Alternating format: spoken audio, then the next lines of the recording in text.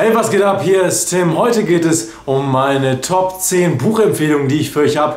Jedes Buch findet ihr unten in der Beschreibung nochmal, da könnt ihr es euch direkt besorgen. Und äh, die Bücher sind aus verschiedenen Bereichen, sei es jetzt Verkaufen, sei es dem Flirtbereich, um Persönlichkeitsentwicklung, was Spirituelles, also aus vielen Bereichen, die mit wie flirte ich besser, wie lebe ich besser, wie entwickle ich mich weiter, wie entwickle ich mich auch spirituell weiter. In diesem Bereich werden viele von den Büchern sein und das sind einfach, ich habe also ich hab gigantisch viele Bücher gelesen, gerade in letzter Zeit und ich habe einfach mal die zehn rausgesucht, die wirklich meiner Meinung nach die Bücher sind, die jeder mal gelesen haben muss und ich werde euch auch erklären, warum. Viel Spaß dabei! Nummer 10 und das einzige Buch auf der Liste, das mit Frauenverführung zu tun hat, ist uh, Models Attracting Women Through Honesty. Und Models ist ein geniales Buch. Models, ähm, darin geht es einfach wie du dadurch, dass du wirklich ehrlich aussprichst, was du denkst, ehrlich aussprichst, warum du da bist, eine wirklich sehr ehrliche und authentische Art und Weise, die Frau anzusprechen. Und das Buch erklärt dir auch, warum es in Ordnung ist, zu all diesen Sachen, die du da ehrlich ausdrücken sollst, zu stehen. Das ist das Tolle an diesem Buch.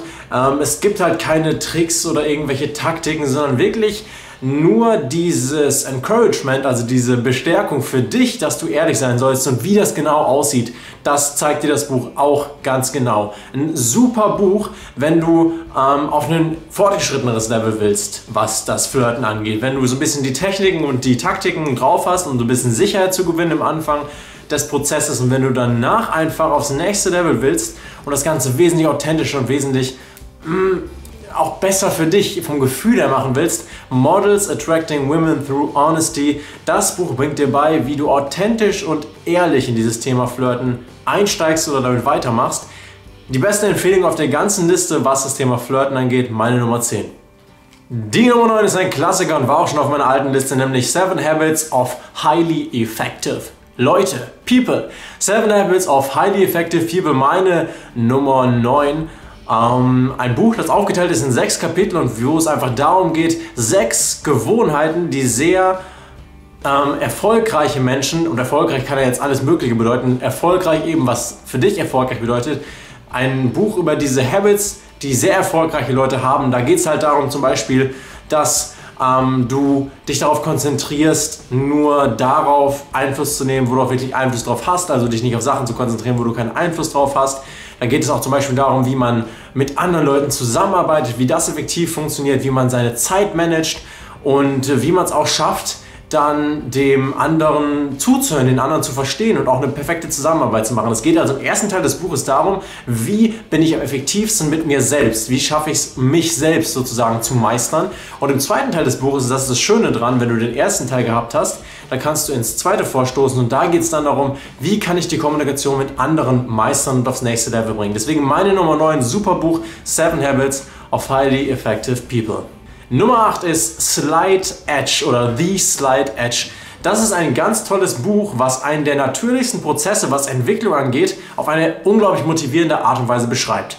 Ähm, natürlich ist es einfach so, wenn wir in einer Entwicklung stecken, dann ist es immer ein Schritt nach dem anderen, jeden Tag einen kleinen Schritt und irgendwann haben wir es dann geschafft und haben unser Ziel erreicht. Und dieses Buch schafft es unglaublich gut und motivierend darzustellen, warum es ganz einfach ist, jeden Tag diesen kleinen Schritt zu gehen. Es bricht einfach diesen ganzen kompletten Prozess. Nehmen wir mal an, du willst ein Studium bestehen, das sind drei Jahre und dieses Buch schafft es, diesen Prozess in diese kleinste in diesen kleinsten Bestandteil herunterzubrechen und dir zu erklären, warum es so einfach ist, dich für einen Tag, für eine halbe Stunde zum Beispiel zum Lernen hinzusetzen. Das Buch bricht unglaublich gut diesen Prozess runter und motiviert unglaublich gut und äh, schafft es einfach, die Angst zu nehmen vor einem unglaublich langen Prozess, in dem man nicht weiß, ob man ihn zum Beispiel auch bis zum Ende durch, durchziehen kann. Deswegen, ähm, wenn du eine große Aufgabe vor dir hast, wo du weißt, okay, das wird ein langer Prozess mit kleinen Bausteinen, The Slide Edge, ein super Buch, meine Nummer 8. Nummer 7 ist die Macht der Disziplin. In dem Buch geht es darum, wie wir mit einem begrenzten Maß an Willenskraft ausgerüstet sind, jeden Tag und was wir machen, um diese Willenskraft zu verbrauchen. Ich habe letztens einem Teilnehmer erklärt, dass ähm, wir einen Tank voller Willenskraft haben. Und wenn wir uns morgens schon entscheiden müssen, oh, stehen wir jetzt auf oder stehen wir nicht auf, was essen wir jetzt, essen wir jetzt was Gesundes oder doch was Ungesundes, dann äh, ziehen wir eben Energie aus diesem Willenskrafttank. Und am Ende des Tages, wenn wirklich zum Beispiel die richtig wichtigen Entscheidungen kommen, wie ähm, gehe ich jetzt nach Hause und spreche ich die Frau an oder mache ich jetzt noch das, lerne ich jetzt noch das Studium, haben wir vielleicht schon gar keine Willenskraft mehr, um uns für das Richtige zu entscheiden. Und dieses Buch zeigt einfach wunderbar, was man beachten soll, wenn man seinen Willenskrafttank über den Tag optimal nutzen will und wie man es auch schafft, den besser zu nutzen und auch noch mehr Willenskraft zu bekommen. Deswegen meine Nummer 7, geniales Buch. Ähm, die Willenskraft, nee, die Macht der Disziplin, genau, meine Nummer 7. Meine Nummer 6 sind fünf Dinge, die Sterbende bereuen, bevor sie sterben. Nein, Sterbende bereuen, die Sterbende bereuen allgemein. Fünf Dinge, die Sterbende bereuen. Da geht es einfach darum, dass eine Frau, die Sterbebegleiterin war für eine ganz lange Zeit in ihrem Leben, erzählt, wie sie so die letzten Tage mit den Leuten, die gestorben sind, unter ihrer Pflege verbracht hat. Ähm, und die haben mir erzählt, worauf es ankommt im Leben. Und ähm, dann fasst sie so zusammen, was sie von diesen ganzen Leuten, die sie begleitet hat, gelernt hat. Und das sind fünf große Dinge, äh, die sie einfach näher bringt. Aber auf so eine tolle Art und Weise. Man ist, man ist so dabei, weil man mitfühlt mit diesem Sterbeprozess und sie erzählt das so emotional und so gut und bringt dabei noch diese fünf wertvollen äh, Lektionen rüber, die ja die Sterbenden mitgegeben haben. Und ich glaube, es ist unglaublich wertvoll, wenn wir uns angucken, okay, was können uns Leute sagen, die schon am Ende des Lebens angekommen sind? Was ist wichtig? Weil die wissen das eigentlich schon, die sind schon durch diesen ganzen Prozess durchgegangen. Und ich glaube, wir äh, richten auch den Fokus viel zu selten auf die älteren Leute in unserer Gesellschaft, um von denen auch Wissen zu erhalten, äh, weil die haben das alles schon hinter sich, die haben das schon durch. Ja, die haben, sind den Prozess schon komplett durchgegangen, den man Leben nennt, über den wir Informationen haben wollen. Deswegen ein geniales Buch, toll geschrieben, emotional, viele Informationen drin, fünf Dinge, die Sterbende am meisten bereuen. So, meine Nummer 5 ist The Truth von Neil Strauss. Neil Strauss hat schon The Game geschrieben, wo es um Pickup ging. Und in The Truth geht es um Beziehungen. Er hat also dieses Pickup-Ding gemacht, hat es hinter sich gebracht und jetzt geht es um die Beziehung. Und die Art, wie Neil Strauss Bücher schreibt, ist genial. Äh, man lernt viel aus den Büchern und die sind unfassbar unterhaltsam. Also er schreibt es natürlich in einer, in einer Geschichte, in einer Geschichtenform, die er selbst erlebt hat, also so ein bisschen autobiografisch. Und er schreibt es so interessant und es ist so tief. Also es geht auch, ähm, ich habe das Wort dafür vergessen, aber ähm, es geht sehr tief in seine eigene Psyche. Er erzählt von seinen Gedankengängen und was ihm passiert ist. Und dann sind auch spannende Sexgeschichten bei, was er Verrücktes erlebt hat. Ähm, liest sich wie so ein ganz krasses Abenteuerbuch und dabei lernt man noch richtig viel über Beziehungen geniales Buch. Ich würde The Game und The Truth beide jedem empfehlen. Neil Strauss hat das super geschrieben. Beides haben wir verlesen, aber The Truth auf jeden Fall meine Nummer 5 auf dieser Liste.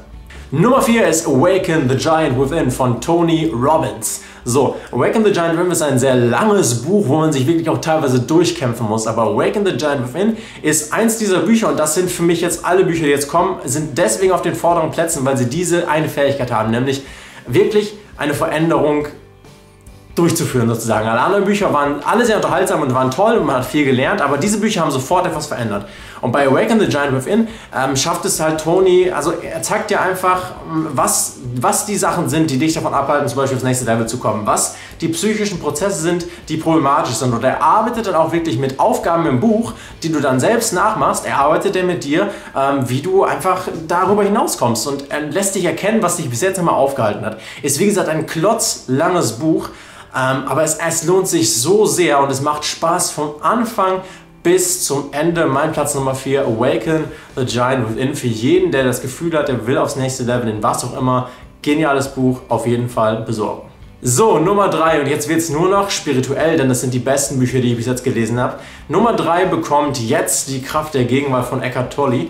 Ähm, das war in meiner letzten Liste auf Platz 1. Mittlerweile hat sich das geändert. Jetzt ist deswegen ein geniales Buch und es könnte sich auch die anderen beiden, also die, den ersten Platz könnten sich all diese drei Bücher jetzt teilen, die jetzt kommen.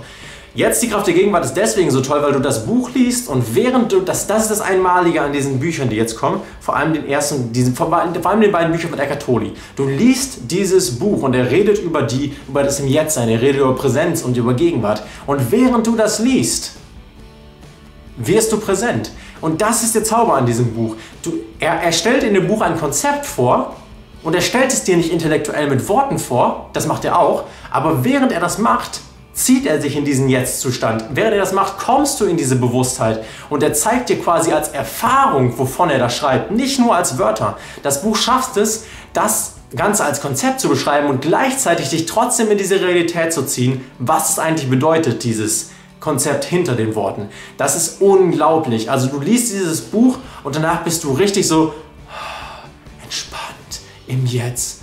Oh, du bist anwesend in der Gegenwart. Es ist so ein machtvolles Buch und ich habe es bestimmt fünf oder zehn Mal gelesen und ich würde es noch 20 Mal weiterlesen. So ein geniales Buch jetzt von Eckhart Tolle. So, meine Nummer zwei hat ein Buch bekommen, das habe ich vor kurzem erst gelesen, nämlich ähm, Mut von Osho. So, Osho, das ist wieder was fernöstliches, spirituelles. Und in dem Buch geht es einfach darum, da ist dieses Konzept des Bewusstseins, des Jetztseins auch mit enthalten, wie in den Eckhart Tolle Büchern.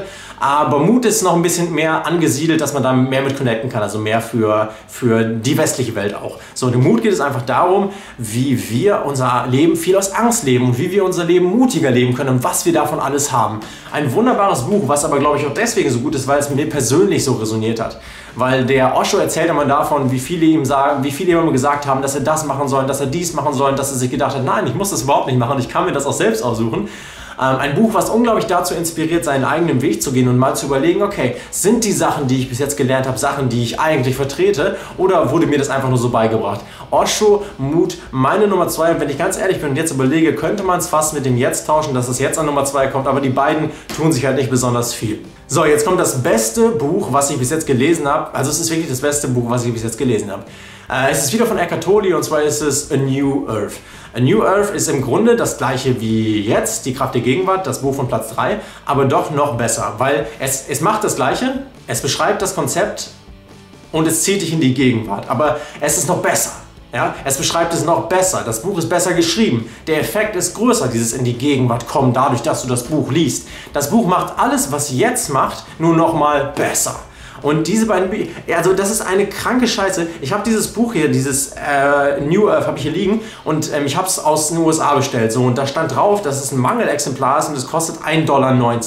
Und da habe ich mir tatsächlich überlegt, diese 1,90 Dollar, ja, ich könnte mir ein Lamborghini für 100.000 kaufen oder ich könnte mir dieses Buch für 1,90 Dollar kaufen. Und der Wert, den ich aus diesem Buch ziehen würde, wäre das tausendfache von dem Wert, der mir ein Lamborghini bringen würde. Dieses Buch ist wirklich life-changing. Das ist ein Gen ah, dieses Buch ist so gut. Und du kriegst dieses Buch für keine 10 Euro. Dafür kriegst du so viel. Ah, das, ich kann dieses Buch nicht beschreiben. Das ist einfach genial. Also wirklich, du liest dieses Buch und dieses Konzept darin ist so powerful, ist so krass und ist für mich eine der größten krassen Lösungen, die ich je gelesen habe. Und gleichzeitig zeigt er dir durch die Art, wie er schreibt, was er damit meint. Du erfährst, was er damit meint. Deswegen sind diese Bücher jetzt und auch A New Earth absolut genial, göttlich, die sind so hammer. Und in der Beschreibung, wie gesagt, drin. Diese beiden Bücher muss man gelesen haben, meiner Meinung nach. Deswegen kriegen die auch so weit vorne Plätze. Meine Nummer 1, A New Earth von Eckhart Tolle. Und der ist sowieso mein Gott. Guckt euch mal äh, YouTube-Videos von dem an. Der ist so klasse, der ist so, hat so einen subtilen Humor. Es ist so ein genialer Typ. Ähm, genau, meine Nummer 1, A New Earth. So, das war's auch schon. Am Ende noch ein bisschen gerantet, weil das echt so ein verdammt gutes Buch ist. Und ich hoffe, ihr habt gemerkt, wie von hinten nach vorne meine Begeisterung mehr wurde. Das sind meine Top 10. Wie gesagt, unten sind die Links zu den Büchern drin. Könnt ihr noch mal gucken, was war auf welchem Platz und wo kann ich es mir besorgen, wenn ich es lesen will. Ähm, wenn ihr noch Fragen habt zu den Büchern, Batz in die Kommentare. Ansonsten ähm, shared einfach das Video und spreadet die Informationen über das ganze Internet.